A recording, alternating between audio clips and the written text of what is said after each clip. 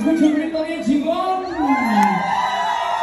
Hoy se casó el buen la coche.